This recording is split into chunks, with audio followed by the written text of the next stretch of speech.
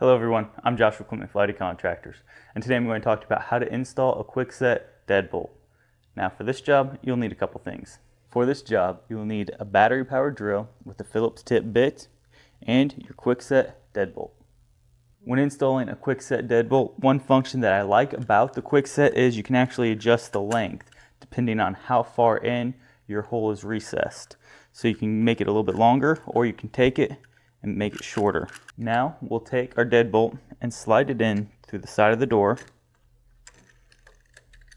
and push it back. As you notice, they've recessed it into the door. That way it doesn't catch on the door jamb as it slides shut. Now with the Quickset, they actually have this here that locks the door for you. So you want to make sure you line up this design with the design of the deadbolt. Once you do that, it should slide right in. And then on the interior side too, they have the same thing. So you want to line that up the same way. And then you can twist this so that way you can get it whether you want it standing up or the opposite way of going down. Now we're going to take our screws, slide it through here, and this part's a little tricky. You actually have to slide it in through here and hit the threads on the other side. So it might take a minute just playing with it, trying to figure out where the actual hole is.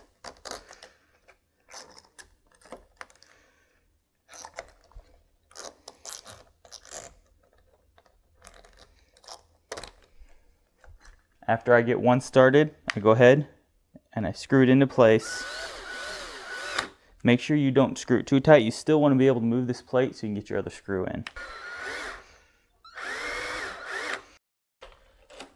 Now I give it a quick test, to make sure that it's moving smoothly.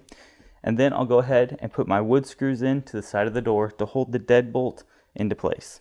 If this is a brand new door installation, you don't have to drill these out since these are wood screws. They'll go ahead and drill the holes for you. Make sure you don't over tighten these because it will pinch your deadbolt.